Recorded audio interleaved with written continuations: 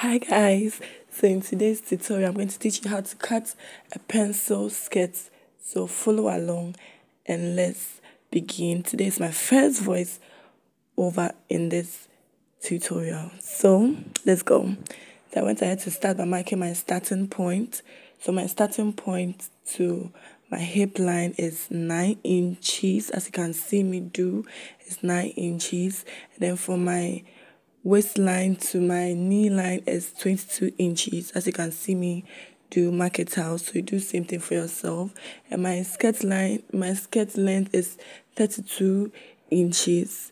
You mark it out and i'm going ahead to add three inches of allowance. Three inches of allowance because i'm going to um, on my line i'm going to cut two inches away from it and pull it up to, to let some of the fabric come inside.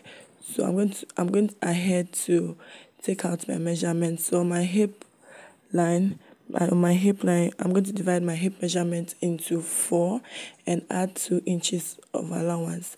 And when you come to your knee point, you divide you take eight inches out of your hip measurement and divide it by 4 and add 2 inches of allowance and you are going to roll it all the way down to the skirt length and you are going to curve, curve your hip line. So now we're going ahead to mark our waist measurement divided by 2. When I am sewing or cutting a skirt, I don't add that allowance to it. So my waist measurement divided by 4, added 2 inches of allowance.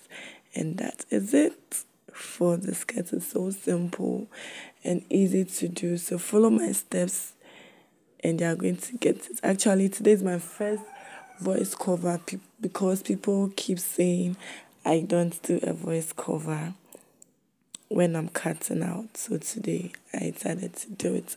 So now I'm going ahead to cut our back skirt. I'm going ahead to cut our back skirt.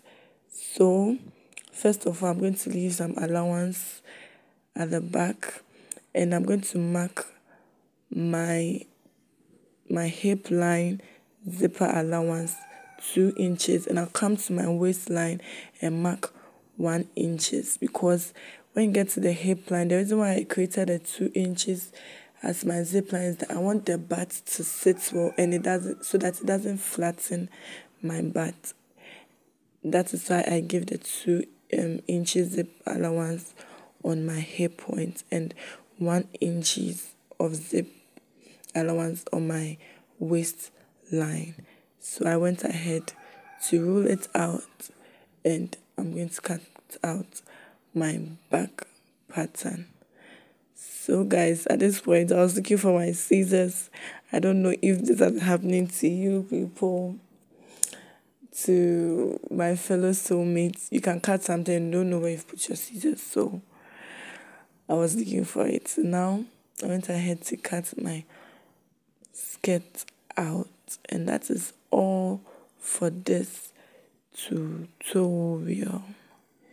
So, thank you for staying with me and please follow me for more cutting and sewing tutorials. It's your girl Lily Boateng and I will see you in another video.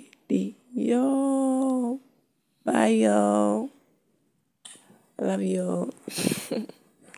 Watch out for the sewing tutorial in my next video. Bye.